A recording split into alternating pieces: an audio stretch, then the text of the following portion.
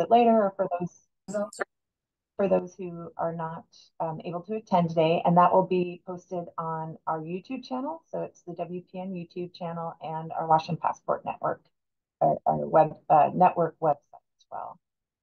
Um, you may notice we're not in the typical webinar format, we're in a meeting format, and that is intentional. We want to encourage questions and participation. So if you have a question that's about something that Emily and I um, are speaking to at that moment, please raise your virtual hand. Um, um, thank you to Giselle, our admin assistant with the team, and to Megan Gold with the Northwest Coastal team of CSF for helping today. They'll be watching for that. So if Emily or I don't see the hand, they can help point that out and we can answer the question in real time. If you have more general questions, you can put them in a chat and we will have time at the end to address questions. And so I also wanted to just share that with the bills that we track and um, and in some cases uh, support, in other cases monitor. Um, you can, if you're curious, view those with our external bill tracker um, and some other resources that are on our um, external advocacy Google Drive. And both of those links will be dropped in the chat at the end of the webinar, as well as this deck. So you don't have to be taking notes. You'll have access to the deck. Um, and again, those links will be dropped at the end. Next slide, please. So introductions for those of you who we may not have met yet. I am Juliet Schindler. I use she, her pronouns, and I serve as the Executive Director of Public Affairs and Strategic Partnerships at College Success Foundation. I actually just had my 10th year anniversary.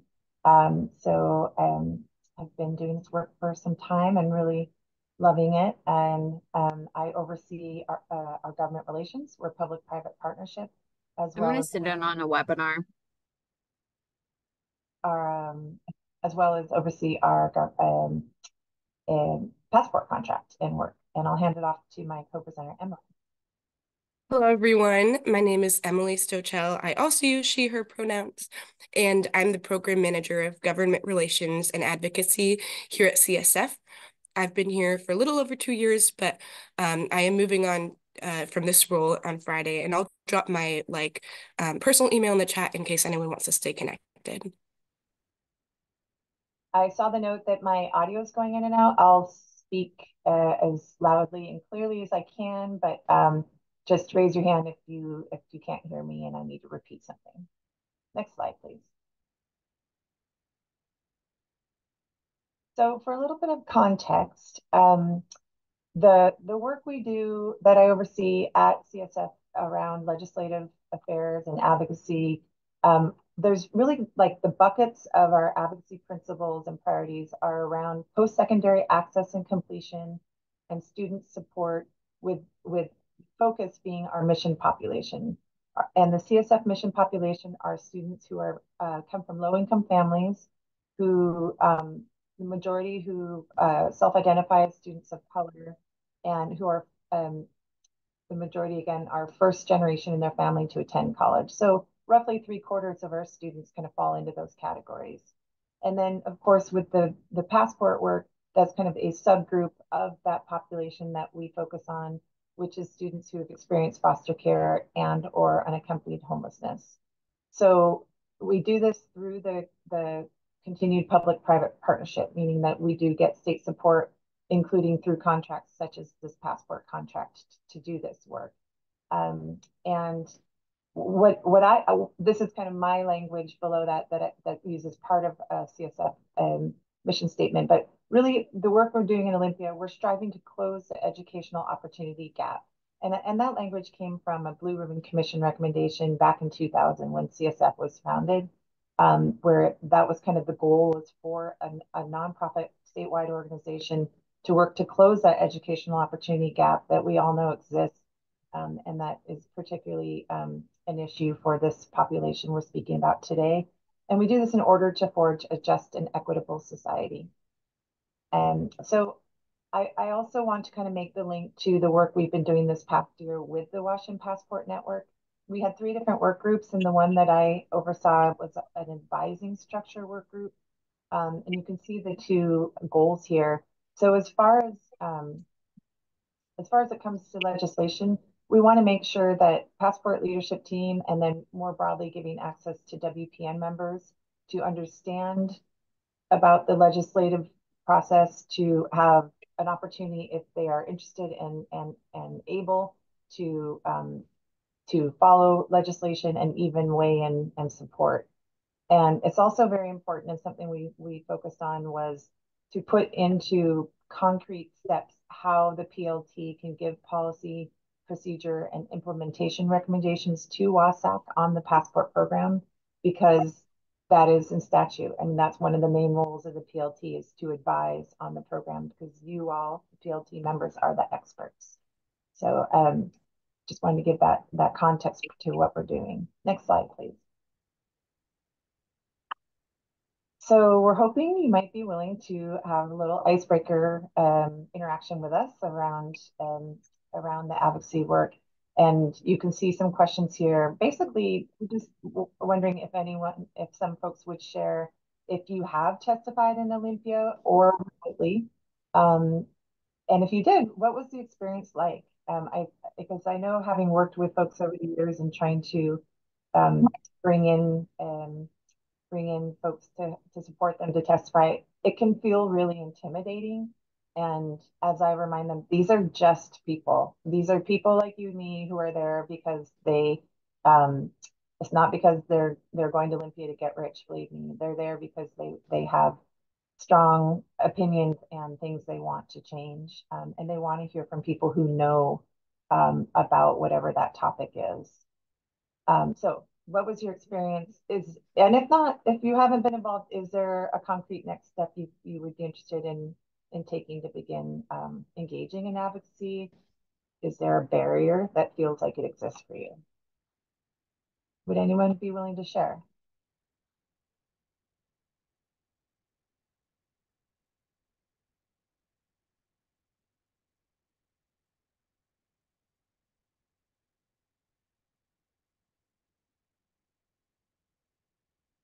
We also had uh, members of the PLT. Uh, we had an in-person meeting uh, in Olympia in February um, for a professional development opportunity. So another option for any of you who joined that day was something you learned or were surprised by.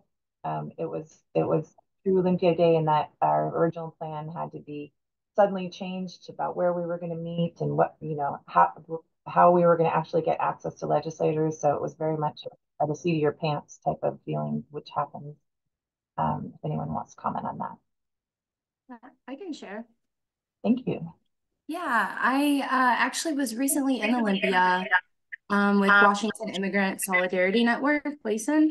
and I had an excellent experience. Um, we were down there advocating um, to secure around 25 million dollars in the budget for like the newly arrived um, migrants and refugees that have come. So that was been really fantastic. I had a like everybody was really friendly, even like the security staff and everything um, made me feel really welcome. I felt listened to and heard. And yeah, the um, we ended up securing it and ended up passing it. So it was nice to have like a victory as well. Thank you so much. Is it Alyssa? Yeah. Thank you for sharing. Anyone else?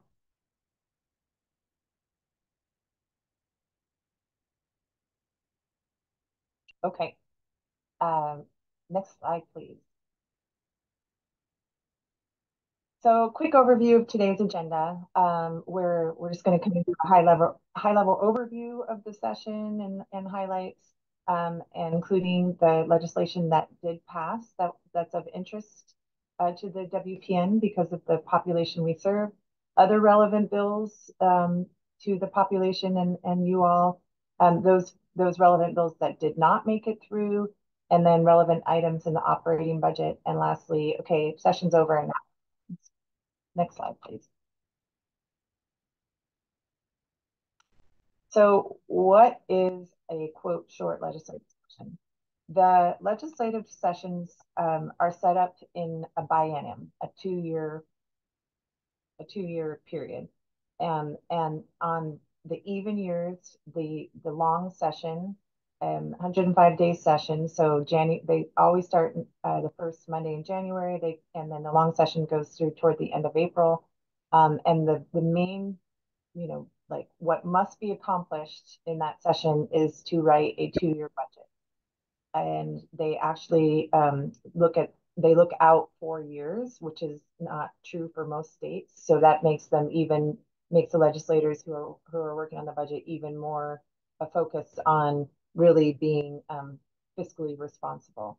So they write that two-year budget, and um, and a large portion of that budget is not flexible. It's it's already um, meeting these different in, you know entitlements. Um, so it's it's kind of this small piece of the pie that really they have some flexibility over how they spend it. Just for some context at why it can be challenging. So then the even years, the shorter 60 day session, so what we call a short session, um, is actually to write a supplemental budget. And the purpose of a supplemental budget is to say, you know, we wrote this budget last year, but then maybe something in the economy changed or um, some factors were in play that made um, that made us need to adjust the budget. The caseloads, whether it's for like DSHS or if or what we're interested in also the the um, the Washington College grant utilization, things like that went up or down. So they need to adjust, um, and usually it's usually up. Um, that the, the the state agencies come and say, look, this is our needs now. We need this much more money. Um, but we also have um, folks like College Success Foundation, organizations like ours, um, who get state funding, who who have the opportunity to also come and make a case for why we need additional funds. And this year and in recent years, um, the process has been a little more efficient because it's one party control. So the House of Representatives, the Senate, and the governor's office are all democratically controlled. Um, that means not only do they are they the leads on writing the budget, but they also um, are the ranking members in the committees um, they're the leadership. So when they come together to make decisions, um, including like in rules committee, which is the committee which helps decide what bills get to the floor to be to be debated and passed. Um, but I will say that um, this Democratic leadership has been quite good about including their Republican leadership counterparts in some decision making, including with the budget, and that that doesn't always happen, and I think it's worth noting. Um, the fiscal environment this year was, I, I would, I would say the general feeling was okay. Um, it, the rev, they all, the legislators always look at the revenue forecast. It comes out four times a year. So the February revenue forecast is important because that's as they're making some final, like getting ready to make some final decisions on the budget. And if it looks like the revenue is growing, then obviously that gives them a little more wiggle room with with the what they feel comfortable funding. Um, this year it was up, but the, the dollars were up, but not by very much. So it was um, not a deterrent, but it also didn't give a lot of encouragement to to to do some some bigger spending. So again, the purpose of the legislative session at its core, uh, a short one, is to write and pass a supplemental budget um, in theory, they would they would not have to pass bills, but of course, there's every every session there's always hundreds of bills that are dropped, um, and most of them do not pass, and that is on purpose. That is how the system is set up. Bills have to go through a lot of hurdles, and that's so that they are good policy. And next next slide. So we are now going to walk through some bills that did pass, that did get through all the hurdles I mentioned, and that that um, are important to know for pass, our, our population of passport eligible students. Next slide. Uh, so Senate Bill 5904 um, was um, sponsored by um, Senator Nobles became the chair of higher education and workforce development in the Senate partway through the through the session, um, and and that's because her predecessor um, stepped aside so that she could run for Congress. So that was interesting shift, but Senator Nobles was already on the committee, stepped right in. She's really respected and did a great job. And she also had some great bills that she was sponsoring. Um, and this bill um, would mean that a student that's eligible to receive an award for the Washington College Grant, College Bound, Passport to College, or Passport to Apprenticeships now has up to six years, which is 150% of the length of the student program um, um, or the clock hour equivalent. And that's so that these um, state programs are aligned with federal programs. Most, most um, well-known and probably important is the Pell Grant, the federal Pell Grant. And that makes it much more predictable and, and consistent for their for students and their families. Um, so they don't have to kind of try to be tracking these different financial aid deadlines, um, which did vary. And then another important note is it removed the that cap of the of the age 26 to expire for passport to careers. One reason I think this is important, um, those who work with apprenticeship uh, programs know that the average age is, you know, into the late 20s and 30s for those students. So, um, so this is also a great um, thing and good for financial aid staff who are on campuses and, and had to deal with those different um, timelines. And then it was partially funded with one and $1.5 million. Yes, Laura. Next slide, please. Great. So next we have Senate Bill 5908, and this is all around providing extended foster care services to youth ages 18 to 21. This was um, a Mockingbird priority for those are, that aren't familiar with Mockingbird Society. Um, all of the legislation that they come up with and kind of plans um, are developed in partnership with Mockingbird chapter members that have lived experience in either foster care and or homelessness. So basically what this bill does is it now makes every 18 to 20 year old um, in extended foster care or sorry who uh, let's see, who like aged out of care eligible for extended foster care between the ages of 18 to 21. So this is a huge move. Last year, uh, a similar bill was proposed. However, it was for the ages of 18 to 25. And um, I believe that kind of it became more narrow in order to make smaller steps to ensure that we're working towards that bigger goal. So this is a piece of that, um, nonetheless, a huge accomplishment.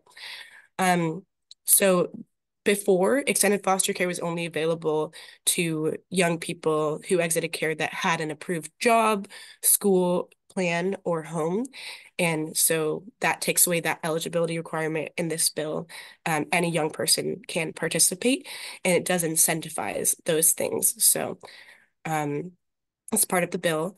And then part of DCYF's decision package, um, which also includes increasing the amount of supervised independent living or SIL subsidy and providing a housing stipend to young people. Um, this bill ensures that all dependent people, young people age 15 and older are aware of EFC. As we know, there tends to be a gap of you know, young people knowing and being aware of these services. So this is huge as well. this also ensures that the extended foster care financial subsidy is set at a rate matching or exceeding the level two foster care reimbursement rate for children 12 and older for those in an independent living setting.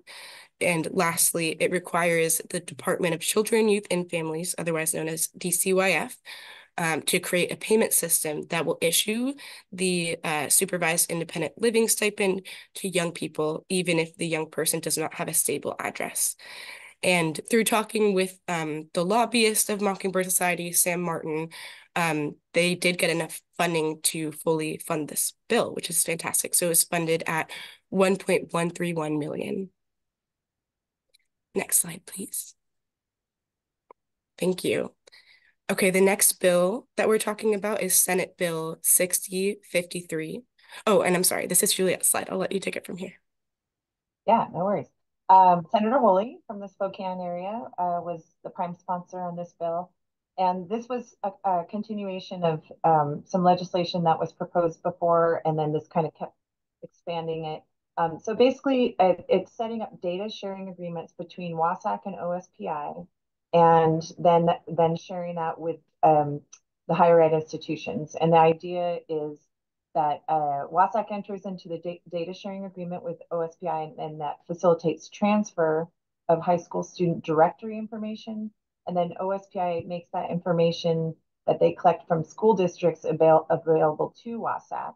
Um, so then the institutions of higher aid, of higher ed, sorry, is um, they can share uh, educational, but also post-secondary financial aid opportunities. So we want, the idea is to facilitate, you know, between the different institutions, um, information about students, letting students get information about, um, you know, uh, what what kind of opportunities are available at, at the different higher ed institutions, including in some cases like, you know, um, that you're already qualified and um, and then there's also a, um, some data sharing agreement information that is provided to the ERDC, so the Educational Resource Center, sorry, I'm forgetting the D, um, and about student enrollment and outcome information.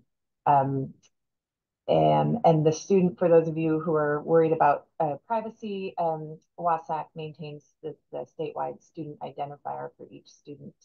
Um, it also opens up that uh, not only the public higher ed institutions, but the nonprofit, um, not-for-profit, non-public, not-for-profit institutions as well. So for those of you who know the Independent Colleges of Washington, for example, this was something they asked and were able to get in the bill. Thanks, Laura. data, of course, it's data is the D. Next slide, please. Great. So next we have um, House Bill 1970. Um, as most of you know, there is often a disconnect of communication between social workers and caregivers. And so this bill really addresses that. It's really, um, the intent is to improve that communication um, and kind of standardize practices around that throughout the state with the department. So specifically, this um, bill requires the Department of Children, Youth, and Families to establish a caregiver communication specialist position within the department um, for the purpose of improving communication between DCYF and caregivers caring for children receiving child welfare services, which is pretty broad spectrum. Um, and secondly, it requires DCYF to submit a report to the legislator by October 1st, 2025, describing how to implement an automated uh, notification system that would notify caregivers or children receiving child welfare services and providing recommendations regarding improving communications between DCYF and the caregivers. Um, so the amount funded for this was 86,000 of state funding plus 64,000 of federal funding.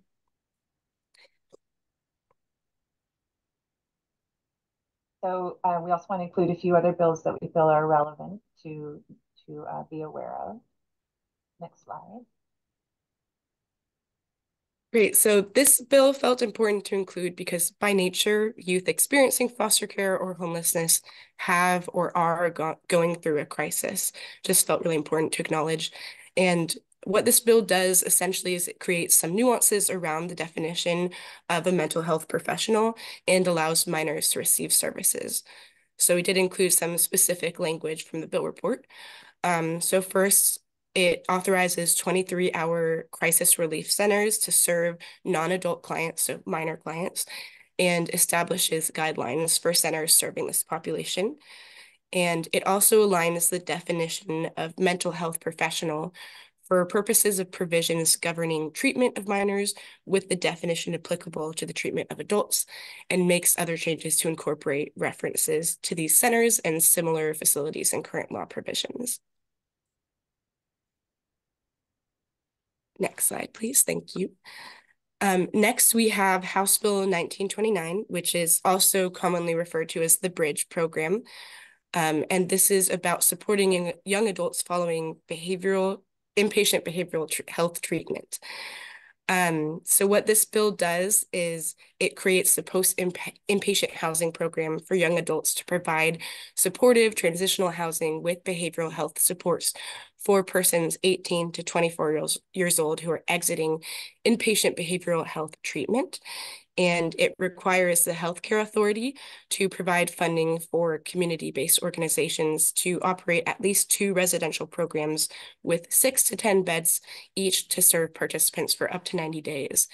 So um, I'm not sure how many of you are familiar with North Star Advocates, but they are the leading uh, community-based organization with this bill. They've um, been doing a lot of advocacy and will be contracted to help implement this program. Um, and for those of you who don't know, Jim Theofelis is the founder of that. Um, and he, that might sound familiar because he also founded the Mockingbird Society and he's been working with a team, including um, people with lived expertise, which is great.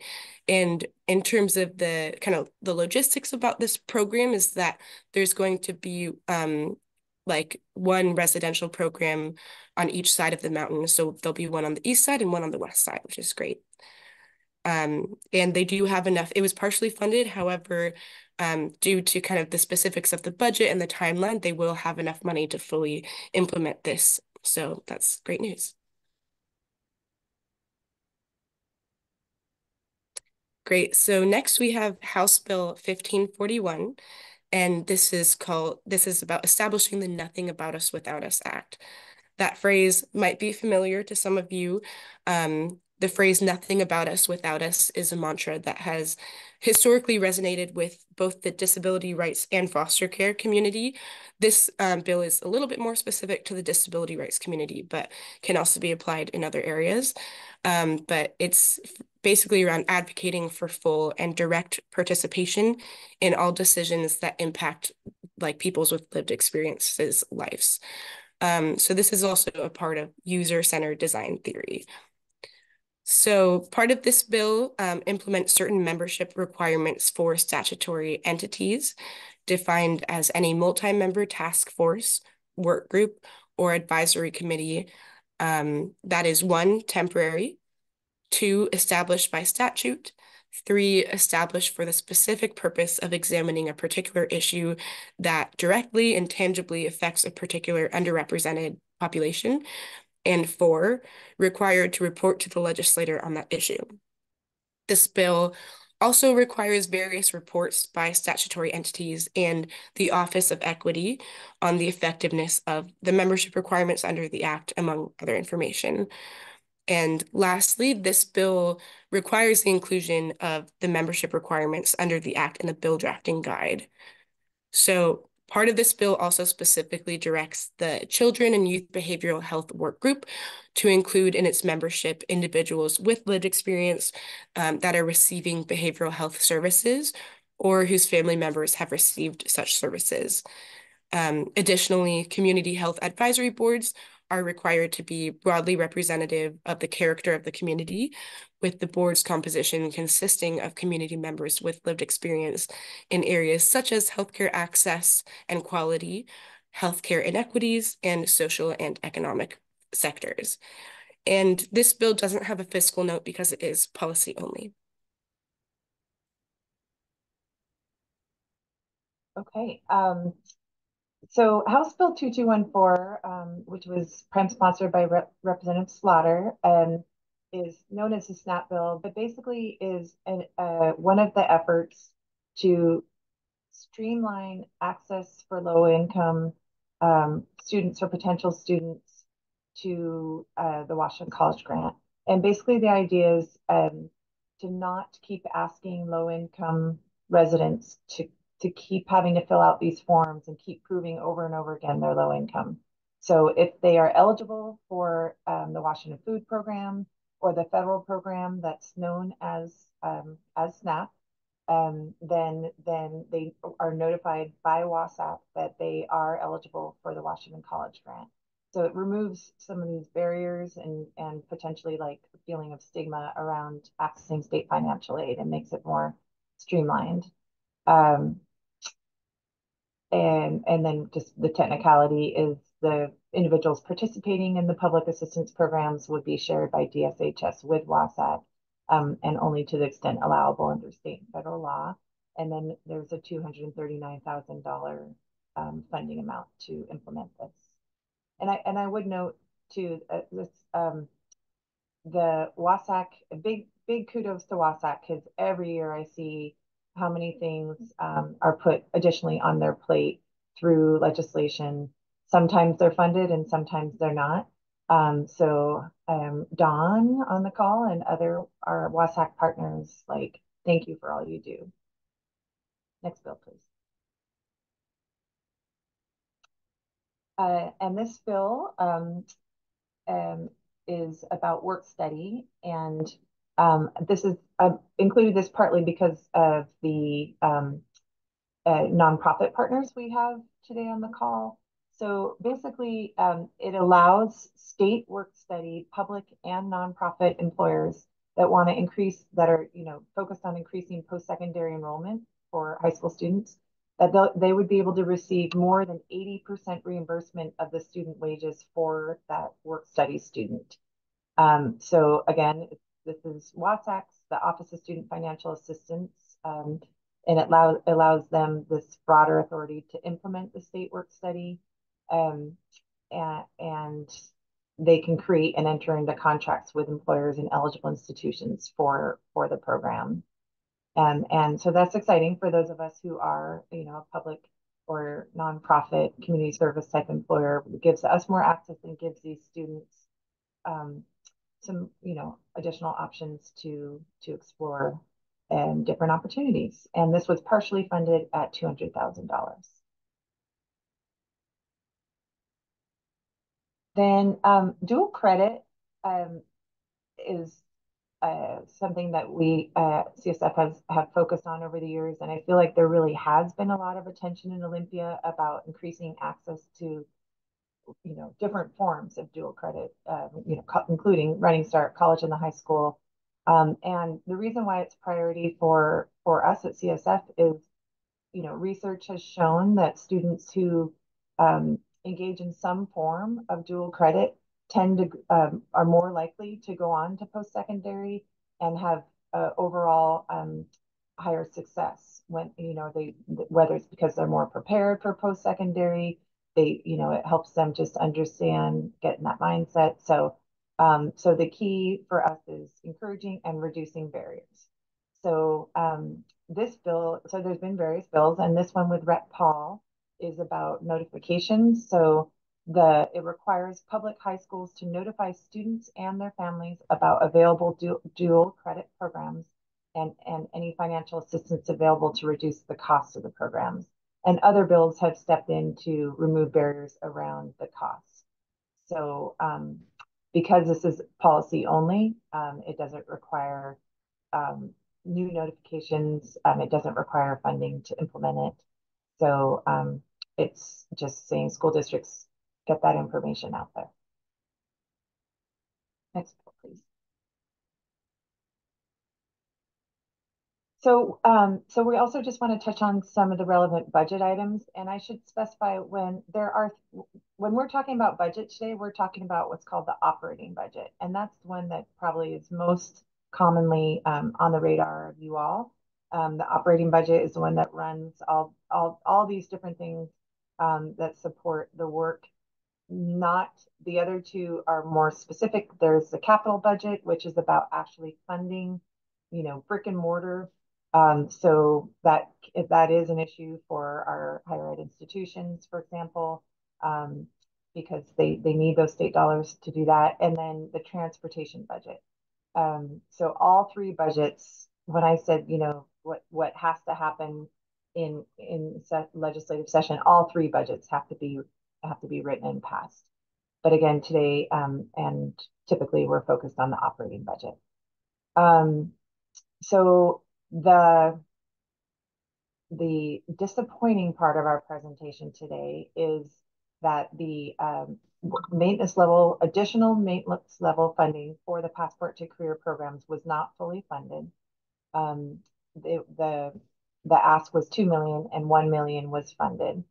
Um, so that is, um, you know, a, a, um, a challenge that WSAC has been very focused on throughout the course of session and now. And for my um, WPN colleagues out there, you will be um, you will be hearing more about that from WSAC and um, you know there will be conversations to be had. I should I should pause for a minute and and explain what um, when I say that WSAC asked for two and, and got the one. So what happens is each of the state agencies um, submit in the in the September usually by like mid-September their ask for what they need for additional funding. Um, and it's called a decision package. Um, so in WSAC's decision package, this was one of the items where they said, you know, based on the projected number of, of additional passport eligible students, we need 2 million to keep up with that. And as many of you know, the reason that number has jumped quite a bit um, is because of the increase in unaccompanied homeless youth um, that the institutions have been identifying. Um, so I see Don has some additional information in the chat, and when we get to Q&A, um, if there's questions around that, we can address it at that point, please. Um, there was also an increase, um, which was related to Senate Bill 6254 around financial aid certification, um, $425,000 there for the State Board of Community and Technical Colleges. An additional 3 million went to uh, the Office of Superintendent of Public Instruction for the ninth grade success initiative. The ninth grade success program is um, in a number of schools, uh, high schools uh, around the state. Uh, we at CSF partner closely. Stand for Children is the one who um, who operates that, and it's because ninth grade is such a critical make or break year that um, this is backed by research that there's um, a, a, number of components to the ninth grade success work, um, including help with kind of coursework and uh, making sure that there's, you know, not bias and identification for accelerated classwork and supports that are built in. So excited about that. And then one of the big focus of my work this session for CSF was the ask to support our Rally for College initiative. Um, this um, high school programming work was begun during the pandemic with federal funds. And um, it allowed us to, we, we serve currently in 28 high schools around the state. They tend to be in five different regions. And these are high need schools based on their um, free reduced price lunch rates, their um, high school graduation rates, direct to college rates, and their student population. Um, so we were operating in a cohort model in these schools, and with the federal funds, we were able to expand to a whole school model, which is also known as targeted universalist model. And our early um, results from we only had one year in full operation. Our early results were really positive, including um, a 9% jump in the direct to college rate and probably even higher, depending on how you compare our data to the statewide data. So our ask was to replace those federal funds with state funds. Um, and that we were not the only ones asking because there were a number of organizations that had received federal funds who were doing the same thing. So we were um, really pleased that we were able to get not all, but um, a bulk of that with the 3 million so that we can continue that work in these 28 high schools. Um, and I'll hand it off to Emily for some of the other budget items. Perfect, thank you. So next we have 1.984 million for the independent living services rate increase, which was fully funded, very exciting. Um, as some of you may know, the eligibility for independent living programs has broadened over the last few years or so. And so this really um, provides a rate increase increase that was needed in order to maintain independent living services at current capacity levels. So again, just growing with uh, the need. Next, um, 1.75 million for the Family Preservation Services rate increase was partially funded. And same similar sort of situation, um, the rate increase was needed in order to maintain the family preservation service capacity at current level. And in theory, this this helps prevent families from getting separated that um, can remain safe with just extra supports. The original requested amount was 2.9 million, so you can see it's only a portion of that, but um, thankfully they they did get some money to continue going forth with that. Um, next, we have um, 1.771 million for the Mockingbird family model through the DS lawsuit compliance. And uh, if you aren't familiar with the Mockingbird family model, it basically works in constellations so that people in a certain area that are fostering are connected to other providers.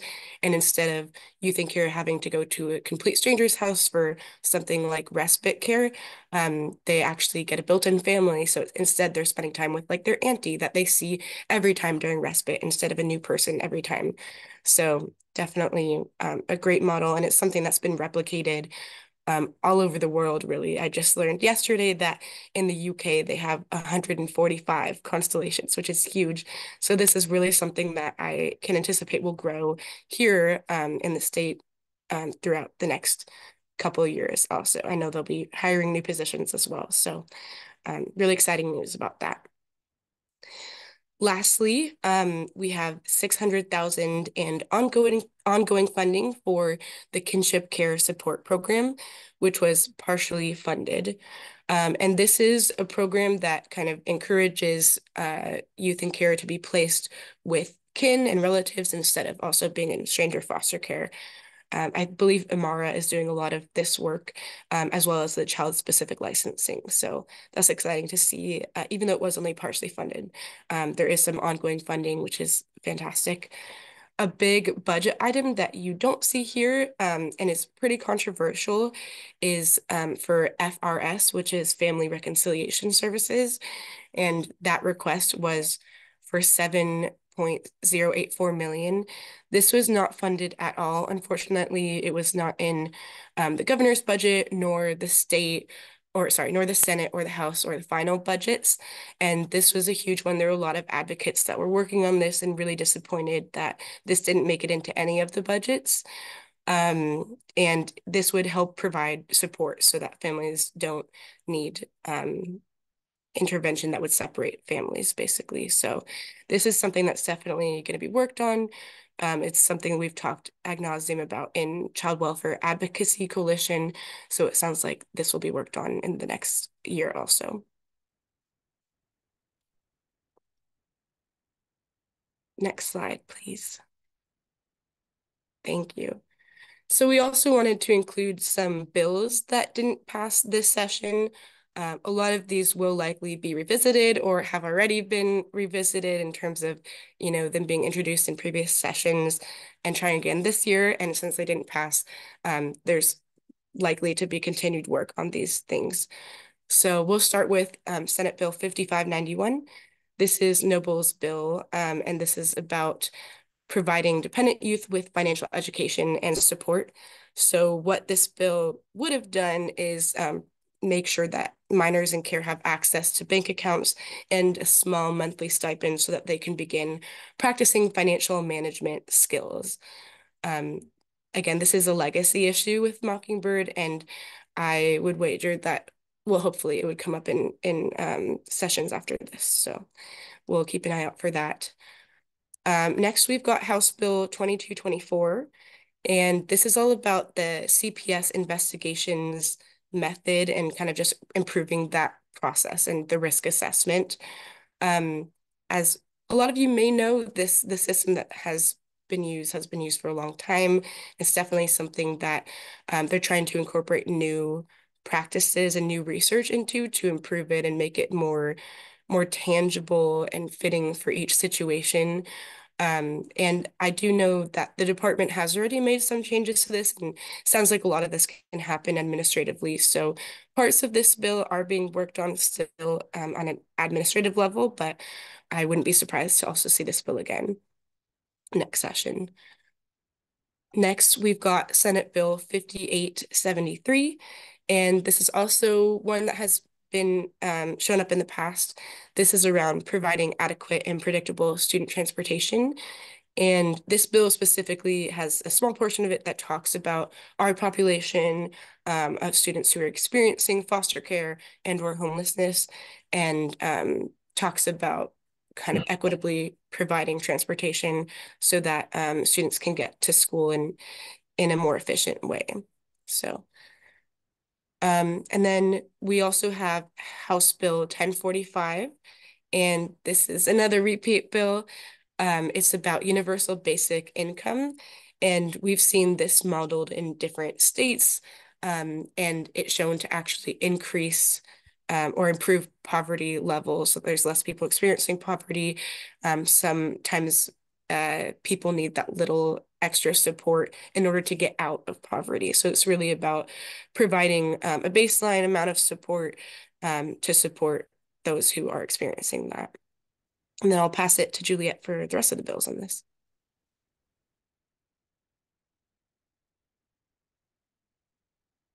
Okay, um, Senate Bill 5896, also Senator Nobles'.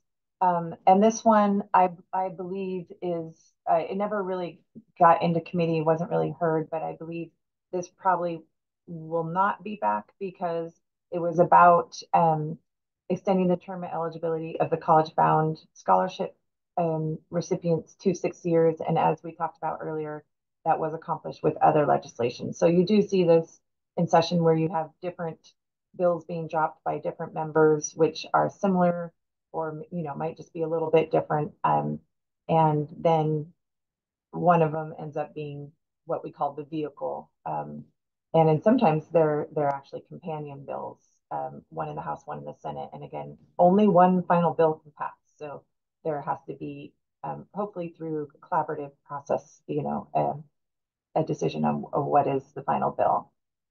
Um, and then um, Senate Bill 5999 um, would, if passed uh, by Senator Hansen, would have increased eligibility um, as far as um, income uh, for the Washington College grant up to 70% of median family income and modify the college grant award for students of it that are between 71 and 100% of median family income and then those who are receiving the maximum college grant but are not college bound scholarship recipients, they would get a bridge grant. Um, so, and the idea there, and this was done in the past. So basically, I think it was it was Hansen trying to kind of continue this um, more generous funding levels, and then this bridge grant. The idea of the non-college bound students getting the bridge grant is there's already a $500 stipend that's given to college bound recipients, so it's kind of balancing that out but um, did not pass this year. And then 5958 um, would establish a career grant skills program. Um, I don't have a lot of information on that. I suspect um, it had to do with funding, um, but it could very well be one that this um, that that Boehnke would bring back again in the future. So there's plenty others because, like I said, most bills don't make it through the process. Um, so we just are giving you a little sample here. Next slide, please. So um, this year we um, every, we have four quarterly meetings with the Passport leadership team, and I mentioned earlier that last February we had our in-person meeting and professional development activity in Olympia, and then our uh, we had meetings ready to go with legislators. We had our room and then the night before, I got a call saying, um, actually, we're going to take that room for some legislative meetings. So we uh, quickly uh, kind of went to Plan B. Um, we met in the kind of the meeting space that's near the cafeteria. Um, and and met there and then we went and we were able to what's called like pull out members they were on the floor all day, so that it was already kind of hard to get them for these brief meetings. And so we went and I sent in notes and um, and asked. So we were able to get a couple legislators out. Here in the picture on the right, you see Senator Claire Wilson, who's very instrumental in um, uh, bills around the population we serve. And she's just a um, anyone who has met her knows how much energy. I mean, she was talking a mile a minute. You can see her energy even in the picture. Um, and you can see some of our PLT members um, gathered around. Um, we also snapped a picture, the one on the left, on the steps. These are the, the, the Capitol steps facing the Temple of Justice. Um, and that was, I think, uh, done by the tour guide after we had a tour, which we did after, um, you know, our, our time spent um, in the hallways outside the chambers. Um, and then uh, kudos again to Don for you know having to scramble that night and make sure that the WSAC conference room was cleared out and available. So we moved to the afternoon to the WSAC conference room.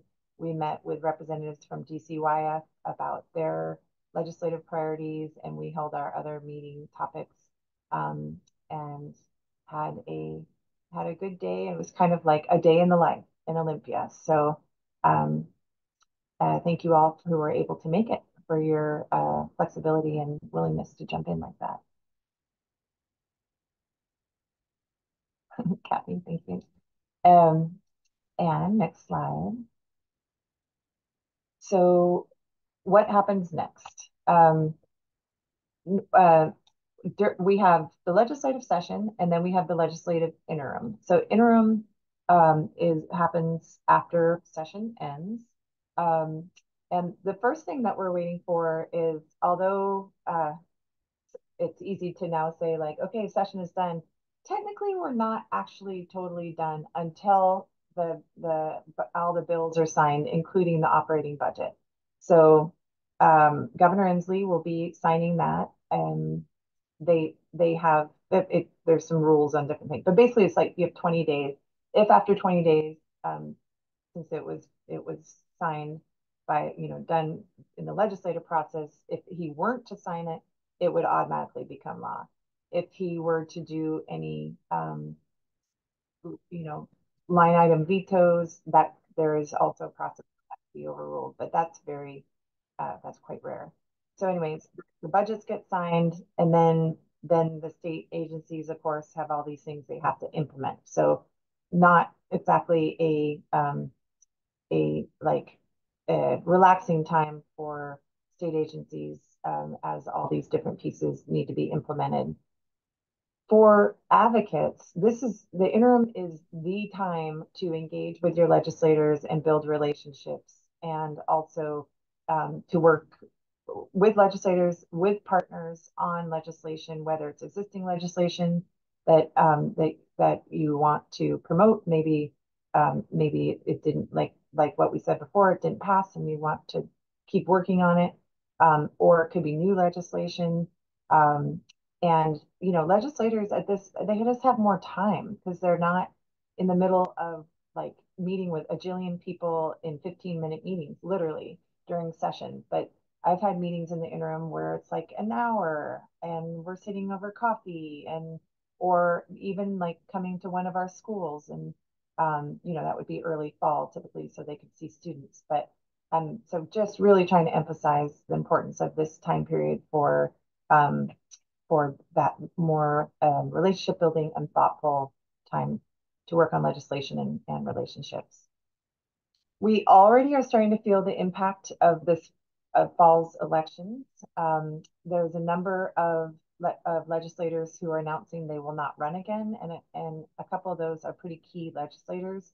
For example, um, Senator Andy Billig from the Spokane area, who's a Senate Majority Leader, has announced he won't run again. So that's a big, um, he's held an important role. And then that being majority leader is an important leadership role. Um, and um, also Senator Linda Wilson, who is um, ranking in Ways and Means, will not run again. And then there's there's others. There's also um, about half the Senate is up for reelection, as well as House members. So it's going to look like a really different legislature come January after the elections and when they're all being sworn in. Um, and that means um, that means leadership changes, committee chairmanships change, new members to build relationships with, um, and and and you're off to the races with you know with the session starting. I dropped in the chat if you're interested the term expiration so you can see which of the senators are um, are up for reelection this year, and maybe it's one that you're a constituent.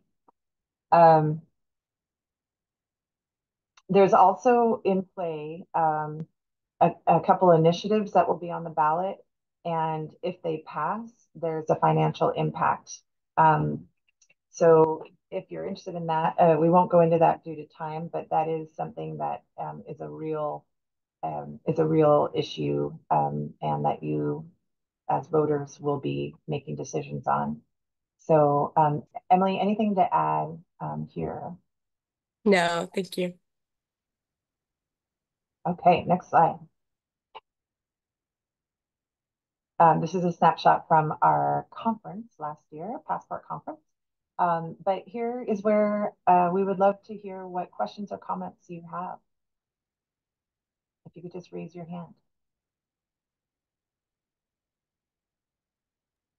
And I am aware of the time. It looks like we only have a couple minutes left. So if we do happen to move on, please do continue to reach out to us or put questions in the chat and we'll get back to you. Yeah, Rosemary, please.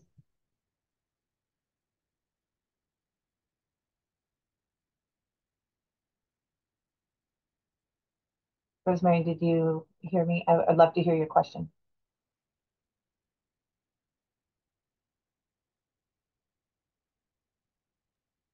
Uh-oh, I see a message saying she can't unmute. Would you be able to put the question in the chat, Rosemary? Sorry about that.